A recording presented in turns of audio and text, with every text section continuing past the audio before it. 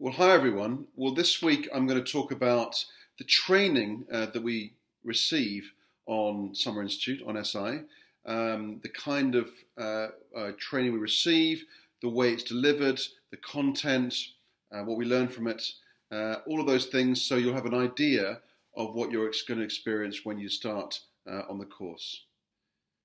Well, at SI, we had a number of different styles, formats of training we started off with a two day, really intensive uh, training uh, um, course on just the, just the absolute basics of teaching, which was just uh, very, very intensive, very comprehensive, but also quite inspiring uh, to begin with.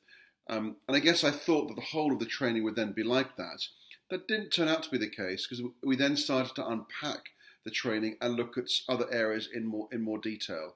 So we looked at things like um, how to manage behaviour in the classroom, um, how to plan lessons. Um, there was some uh, there was some training on, on leadership, on how Teach First works, um, but it was really a uh, an initial um, uh, taster, an initial um, uh, an initial initial guidance on on, on what you would what, what you would do when you first got got into the classroom in, in September. The format was a mixture of things. Um, it was some of it was what was traditional uh, lectures. Uh, some of it was done in in in small groups. Um, some of the focus was on um, teaching in general, teaching techniques that could apply to all subjects. Um, other parts of the training were specifically targeted at those of us, in my case, who were going to teach geography, and they were mixed around on, on different days, uh, and so and so the whole um, the whole six weeks had quite a mixed feel to it. Um, often you would look at the content for the next day, and you wouldn't really know what to expect, and almost every day was quite a surprise as to what what really then tra- transpired. Uh, you often wake up in the morning thinking, "Oh, that's that. What does it really mean? What's really going to happen?" And then um, as the day uh, as a day um, unravelled, you would then start to uh, start to see what was the, what the training really really did include. Um, but it was uh, the timetable was pretty heavy. We were we were studying uh, most of the time, um, and looking back, I think uh, there are some things that I really um, took on board. I really sort of soaked up, and there were other things that uh, looking back, I think, oh wow, we actually learned that. I didn't realize that. And I think there are some things that you struggle to take in and really understand the significance of until you're really in the classroom. But then what I do have is now resources from that time that I can then go back to uh, uh and, and actually uh, and actually look at now, now that I'm quite some way into my, my first year, uh, and draw on as I um, as, as, as, I then pursue my, my, my educational practice and, and, strengthen my, my ability. In terms of assessment, I mean, of course, that's something that, you know, many of us that, that are going into teaching from different careers may not have uh, experienced this for some time. So there's a, there is a degree of getting, of getting used to that again. Um, I think in terms of assessment, there was one essay that we had to write while we were there. Quite hard to fit that in when you're uh, when you're teaching, when you're studying all day, there was you know, it, there, took quite a lot to really focus on that.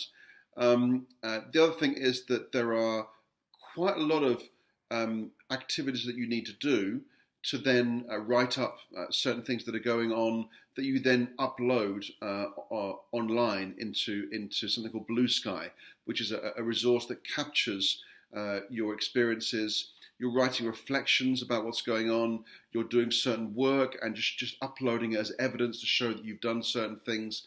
And I think the, the key thing there is you know, stay on top of it. Um, do do bits every day, and it's not too difficult. You know, leave it for a few days, and it can really build up and become quite uh, a, big task to then catch up with yourself. And those that really stayed on top of it every day, I think, had an easier time um, of the six weeks uh, compared to those who were struggling the last minute to, to pull everything together. In terms of uh, teaching while on SI, we would receive teaching from um, uh, geography specialists, um, specialists in, in, in, pedagogy, former teachers, uh, former senior leaders, um, some outside visitors. It was a real variety um, of, of, of, te- of, teaching staff. I have a, a, geography tutor who started teaching us on SI and who now continues to teach us throughout the year, um, who I think has, who's shown real personal care towards those of us that are studying with her. Um, and the continuity that we've had working with her has been great. And so there's been really there's really quite a good bond that's developed within the geography cohort and with her and other one or two other geography tutors as well that have uh, that, that, that, are teaching us. Another of the really uh, exciting parts of, of the of the SI program was uh, was was learning alongside others. Um, you're very much put into different groups, London group, a geography group, and other groups. And you really start to spend quite a lot of time learning alongside others who have come from all sorts of backgrounds, um, bring different experiences uh, to, to, the table. And so, for example, when I was uh, teaching for a couple of weeks at a school in West London, I was put into a group of about six, six or seven geographers who really worked very closely together, supporting each other. Um, and some of the time I would teach, particularly with one other member of that group, sometimes in two, twos and threes, sometimes alone. And that was a really nice time to, to really build relationships, um, um, share resources. And I'm still very much uh, in contact with, with those students, particularly that I spent those two weeks with. It was a really, um, it was a time when we needed to draw on each other's support and each other's experience. And I, I've learned a huge amount from from other participants uh, on my course in a way which um, has been really rewarding and, and enriching, and, and, I think far more so um, than I expected. And that's very much continued. Uh, I'm now teaching at a school in, in Newham in East London, and I think there's uh, six, seven, eight of us from Teach First in, in my year there.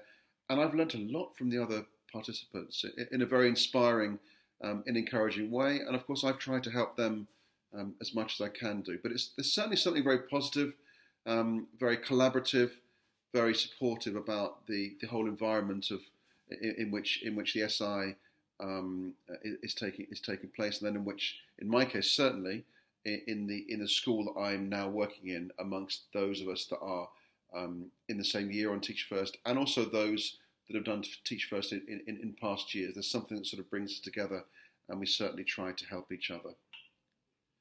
So I guess the key question is, after SI being completed, um, did I feel prepared and ready to step into a classroom? I think looking back, I, I, I certainly, I certainly didn't feel a huge amount of anxiety about suddenly starting to teach. Um, I don't think I felt hugely prepared for it either. Um, but I guess I felt like I did have just about enough to start stepping into the classroom and start and start start teaching. Just about enough to get me through the first weeks. Um, would I wanted more? Looking back, yes, I would have done, and I guess I, I guess other teaching programs, uh, training programs would give you that. However, what I what has happened is that I've uh, learned huge amounts uh, by training on the job. And that's what it is. You're really training on the job. And every single lesson, every single day, you are learning something. You are learning from colleagues, um, you're learning from uh, support tutors and, and, mentors. And you're constantly tweaking things. Oh, that worked there, that worked there, that didn't work, that didn't work. And over time, you start to, to, to, to build to build that up. So it's a huge challenge.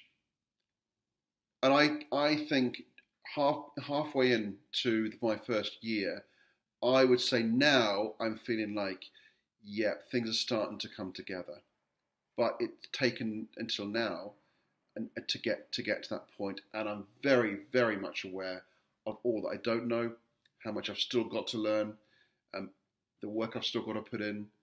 But I do feel supported both by my colleagues in the school and by my mentors and tutors at Teach First in a way that I know that will enable me to get there. But it's certainly a challenge. Um, it's a huge challenge, um, but I've found to be a manageable challenge.